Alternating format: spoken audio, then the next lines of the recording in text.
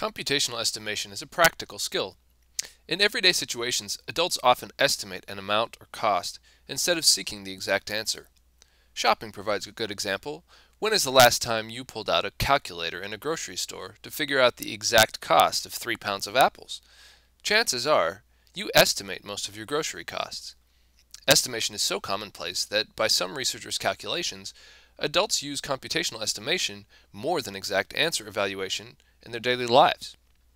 However, elementary, secondary, and even college students sometimes have difficulty or discomfort with computational estimation.